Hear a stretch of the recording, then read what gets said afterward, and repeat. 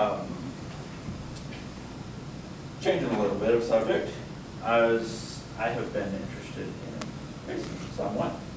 So, um, one thing I've been watching is one of the, probably one of the faster four-wheel race, uh, motorsports out there, Formula One. So particularly, it's interesting because it appeals mainly to three areas. Um, The complexity involved in racing, the time margin, it's a very tight race, and the driver's abilities, it requires a lot of them. Uh, For example, this year, they're doing 17 unique tracks. It includes 10 teams and 20 racers. That is from the Formula One website. Uh, A really dynamic uh, racing event and and attracts an audience. So starting out with track complexity, uh, it's not, it's not an oval as like NASCAR or some other racing set, racings, uh, races are. We deal with, with varied track designs, so tight curves, long straightaways, all of that.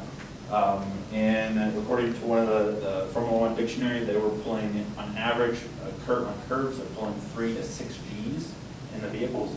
So we're not, it's not uh, go-kart racing. Um,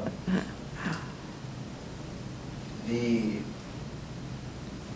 part of that complexity comes, or a consequence of the complexity, ends up being the driver's safety and, and his ability. Ability to, to navigate the track and safety requirements for his car and others, because if they're going everywhere, tight curves and everything, if somebody misses, they're gonna, gonna be a little bit of a consequence, and they do a lot of barriers on those. Um, so margin of time, for example, this last, last race now here, uh, 27th of September, it is a 53 lap race. Uh, And first and second, the difference in time between the first and, first place and second place was 7.7 seconds. Divide that out, that's way less than a half a second per lap. Difference between those two, they're very tight. Um,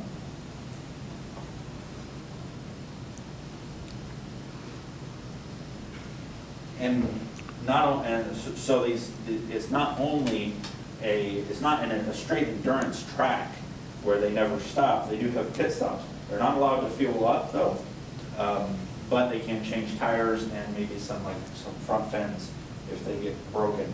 Those pit stops are on average like between thirty seconds. They were changing, the fastest one this last race was twenty-nine seconds, the longest was like forty-five.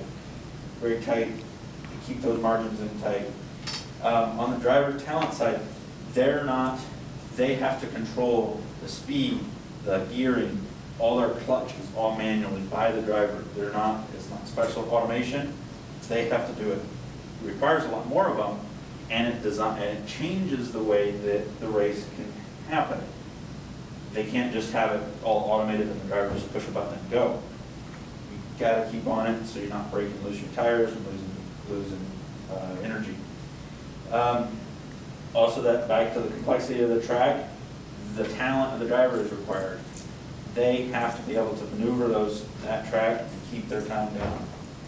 Um, In summary, Formula One, I think, shows off some of the greatest strengths of engineering.